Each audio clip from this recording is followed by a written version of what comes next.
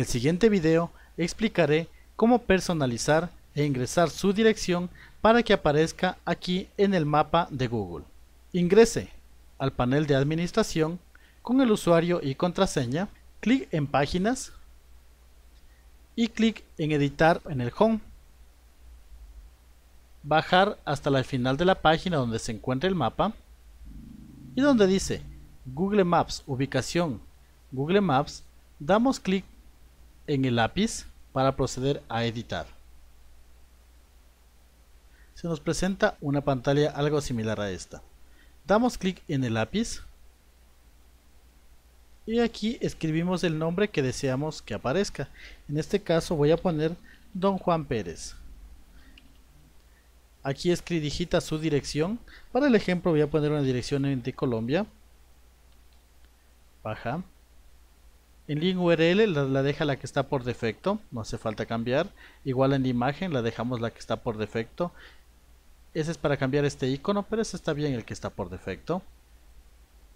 Y para encontrar, como dice aquí, la latitud y la longitud, doy clic aquí en este botón.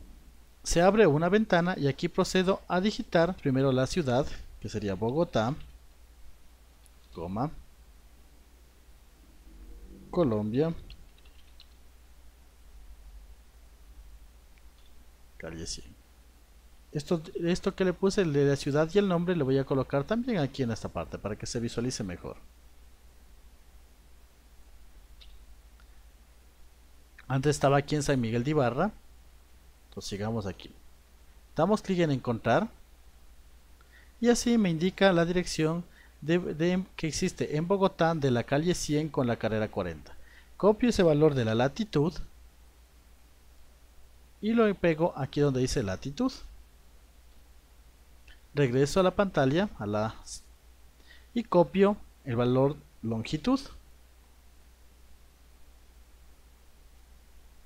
Y doy clic en guardar y doy clic en guardar para guardar todos los cambios. Espero unos segundos a que se guarde. Y voy a dar clic aquí en F5 o actualizar para ver la nueva dirección que antes estaba en la ciudad de Ibarra en Ecuador y podemos observar que el cambio se ha realizado.